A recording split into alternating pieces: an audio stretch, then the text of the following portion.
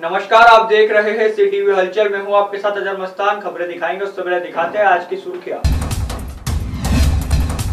Scheme number 36 ए में slum के 40 प्लाटों का होगा आवंटन। संपन्न लोगों ने ले लिए थे, गरीबों के 40 प्लाट। पुनः प्रक्रिया में पात्र लोगों को दिए जाएँगे 40 प्लाट।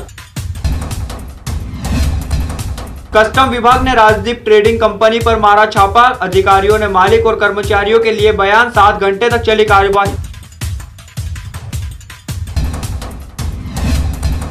खाद्य सुरक्षा विभाग ने जावद में मसाला फैक्ट्री पर मारा छापा, फफूंद लगे, मिले मसाले जब्त, लाइसेंस निरस्त।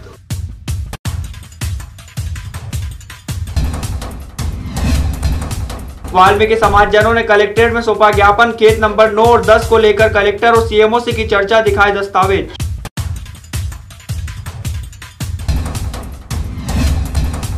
ज़िले में कोरोना का कहर हो रहा कम, छह दिन में मिले 103 मरीज़, ठीक हुए एक